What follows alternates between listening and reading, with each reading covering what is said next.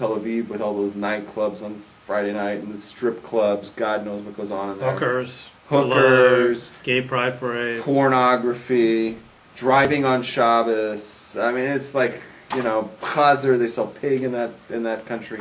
You know, and all these terrible things. Right.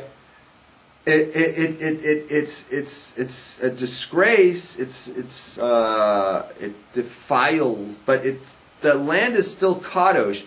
We don't have the power to make it non-kosher. That land, or to make it non, uh, take it out of its status of kedusha, because like the land is is kodesh because it's separated from all other lands. That's eternal. There's nothing that the Jews can do to to to, to, make it non-kosher, make it non-kedusha. We can trafe it up and make it a, a, a, a chil Hashem because we're taking something holy and we're making it prof- a, a profane.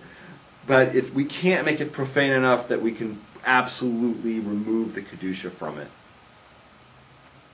I mean, uh, the Holy Land is always the Holy Land, you know, even if it's got the Trafe country on top of it.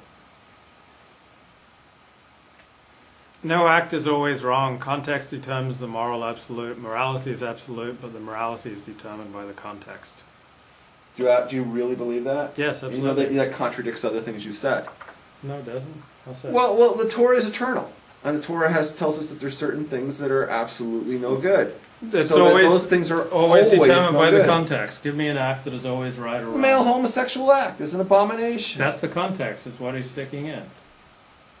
Like if he if he had sex with if he had a sexual act with his wife and made a baby, it'd be a beautiful act. Oh, so why don't you rephrase what you're saying a little it said the context, like sex. Because you said that wrong. sin is not. Uh, there's no such said thing. no as, act is always wrong. And I'm going to say.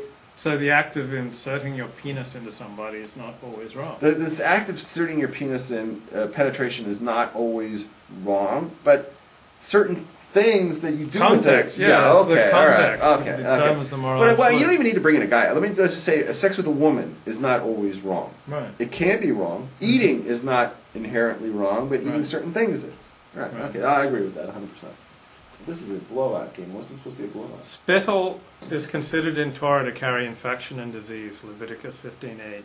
Spitting is not an honored practice among Jews. Okay. What goes on with the sexual organs is of great concern to the religion of Israel. I want to go. Uh, There's nothing. no, I want to look, man. It's my my, my gig. True, everybody's laughing. Close up the show. Okay. Emily says hi as well. Happy birthday! Happy birthday to my f- friend Emily. Okay. Uh, okay, great. Okay, go ahead. It's my nephew's girlfriend's birthday, so hi. Say happy birthday to Emily.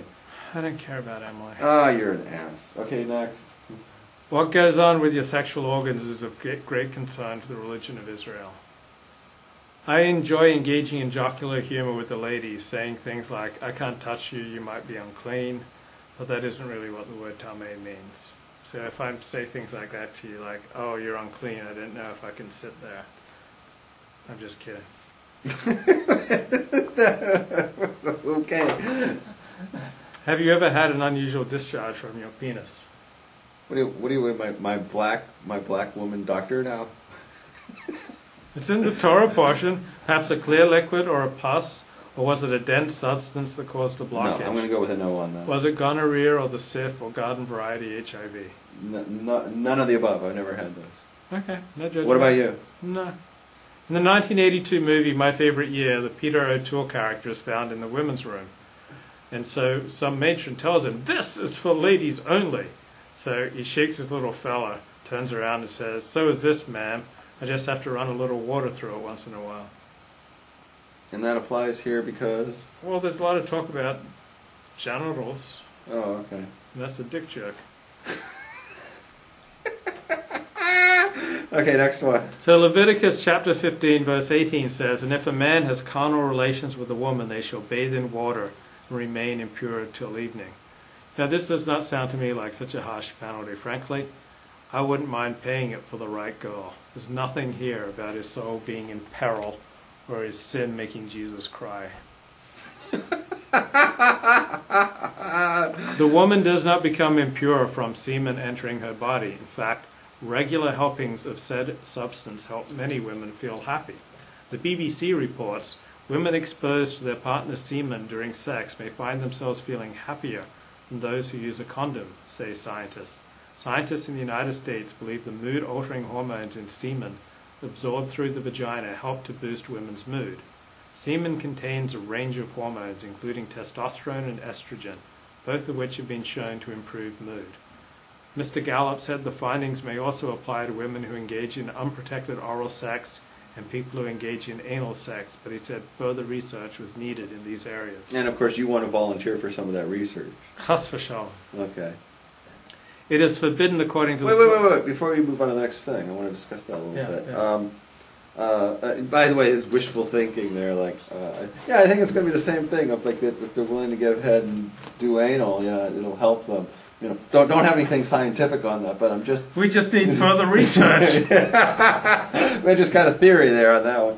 Um, I wanted to say that the Talmud actually, this is not a surprise to Jews because it's actually in the Talmud. Mhm. It's in our oral tradition that uh, it says that when a man um, and woman have, when a man and a wife have relations, that he gives to her, he loses strength and she gains strength. Oh, that's interesting. That that the uh, there's a life force Mhm. in his ejaculation Mhm. that strips him of his of his energy Mhm. and she ends up stronger from it he Mhm. ends up weaker Mhm. so you might want to look and see you know but that Mhm. seems to correlate a little bit It is forbidden according to Torah to have sex within sacred precincts. Is a conservative shul a sacred precinct? wait wait wait what is it what what You can't have sex in the temple. precincts what, what is that trans what pasuk is that because i don't know what that translates as what did you translate precincts Like you could have sex in the temple, like in the ancient, well, most of the ancient Near East, they'd have like uh, temple prostitutes. And you go to temple and you'd bang a prostitute. And that was considered. who hasn't service done of that God. who hasn't done that We don't roll that way. no, okay So is a conservative shul though a sacred precinct? Because I was with a woman in a conservative shul, and we got bored during conservative services, so we started making out in the hallway, and we were about to go into the rabbi's office to really rev things up, but the Mexican help stopped us. Great, but thank. By the way, thank you for not for, for not letting us go 20 minutes without telling us about your sex life. Another time, after Shabbos, we started making out on the bima right next to the Aron HaKodesh, Right, which contains Torah scrolls, right. but we didn't go any further. Another time, after a dinner with a shiksa at a kosher restaurant, I walked up to my modern Orthodox shul, and right in front of the security cameras in the doorway that evening, we started making out. You made out with a shiksa in the security cameras of a modern Orthodox shul. Yeah, is that wrong? Yeah, don't get caught on camera, man. That's just really lame. I'm Um, starting to think that sometimes I lack good judgment. Uh, wh- which shul was that, by the way? I can't, I can't, I can't, I don't want say the name. Okay, okay. Um, uh, the answer is that uh, the conservative one for sure is not. Uh, what was that word you called? Sacred precinct? It's not a sacred place. It's a, it's a makam um, tame. It's, Uh-huh. it's a makam. It's a it's a place of heresy. Okay. So it's not. It's a So I don't have to worry about making No, with it's probably the best thing that ever. It's the most holy thing that ever happened in there. Right, right, okay. Um, the other one I won't comment on because you didn't tell me the shoe. Go ahead. What would the rabbi say from a Torah perspective to people today suffering from a gross skin disease? Sometimes I wish we could put them outside the camp.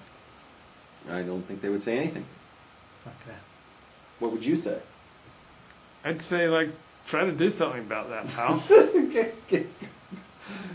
okay. the Torah does not require menstruating women to be put outside the camp.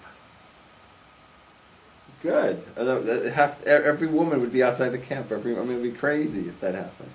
Well, some of them have had hysterectomies.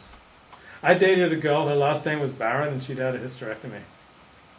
Why are you telling me that? It's hilarious. Oh, Baron. The okay.